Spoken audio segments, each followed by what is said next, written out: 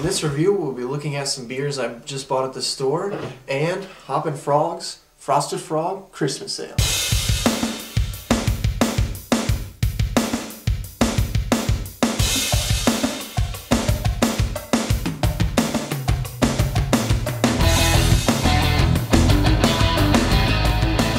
Alright, have the beer poured, but let's go ahead and take a look at some beers I just picked up at the store uh, this this night right before Christmas Eve. You'll probably be seeing this review on Christmas Eve, but uh, picked these beers up today. So here we go. Um, a beer I have never seen in the store.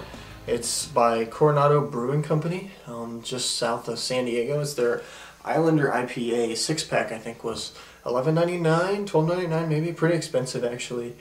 So uh, you know, I said I figured San Diego IPA, it's got to be good. so hopefully it's good. We'll find out. Do that one soon, probably. IPA, make sure it's fresh. Then the next one is the Old Rasputin Imperial Stout.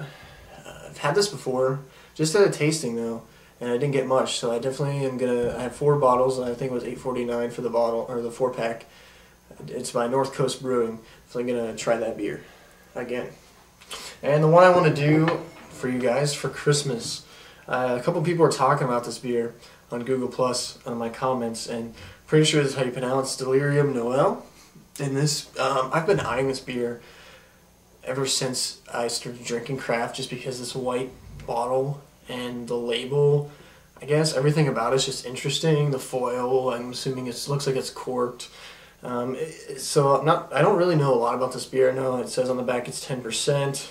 Um, it has some dating system on it. I'll have to look it up and see when this was made.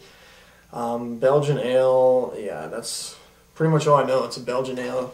Cost me ten ninety nine. Sweet bottle though. but all right, let's go ahead and get into the review of Hoppin' Frog Frosted Frog Christmas Ale.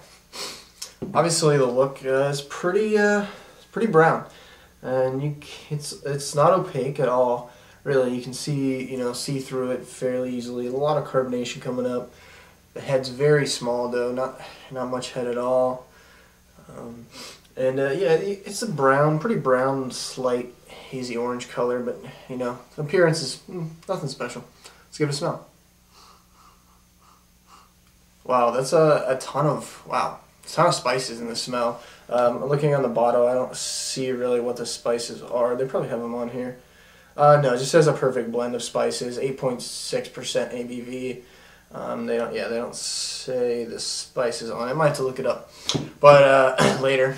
I'm definitely getting, obviously, some cinnamon, some big cinnamon notes. This almost smells, yeah, the cinnamon is, I think, overpowering in this, in the smell of this beer and maybe some nutmeg. I'm not too keen on the nutmeg smell, but I know I know that a lot of the Christmas beers tend to use that, and I feel like that's that's definitely in this.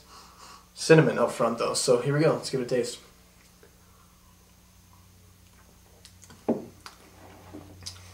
Interesting. I've only had one other beer from Hoppin' Frog. Go ahead and tell you guys, uh, Boris, their Imperial Stout, award-winning Imperial Stout. Uh, and it was pretty good. I enjoyed that. So this is my second beer from them. Um, but uh, the taste, let's uh, give another taste.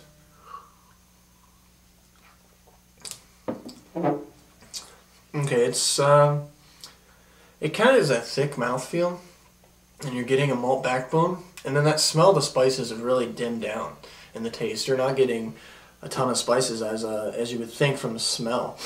They're there and you're getting them, but they're not uh, not um, blowing you away.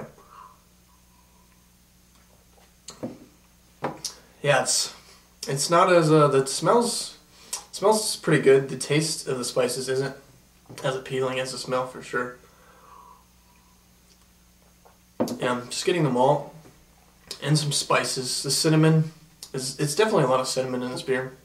Um, maybe a little bit of nutmeg. I'm not sure what else they use. I might have to try to look that up. But eh, yeah, um, um, if I find out what it's in I'll, I'll, uh, talk about that in my final thoughts. But I'll go ahead and let this warm up, guys. It's uh, so far it's okay. Maybe it'll get a little better as I let it warm, but uh, so far it's okay. And uh, I'll be back with my final thoughts. All right, here we go. Back with my final thoughts on the Hop Hoppin' Frog Christmas Ale, uh, Frosted Frog Christmas Ale. it's really not that great. I'm pretty disappointed paying $7.99 for a bomber this beer, and it kind of sucks. Um, I guess it's just you get some kind of spices. They don't really say what they are. I checked the website. Um, you get some malt. It tastes like a winter warmer, but it just kind of tastes like a bad winter warmer. I uh, I'm kind of surprised.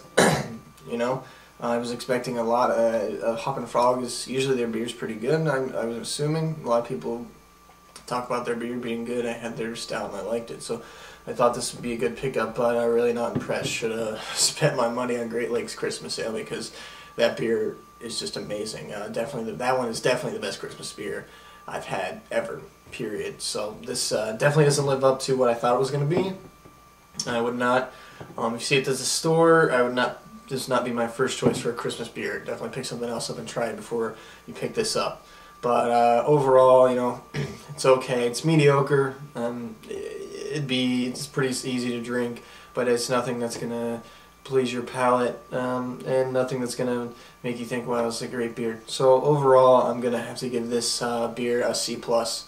Uh, you know, it's just doesn't do really anything for me. I'm not nothing in this beer makes me think um, to give it anything higher. So Hoppin' Frog Christmas beer, their Frosted Frog Christmas Ale gets a C plus from Cheer to Beers. Uh, if you guys have this beer, comment, rate, subscribe. Let me know what you thought of this beer because I could be wrong, but this is just my opinion of the beer. C plus.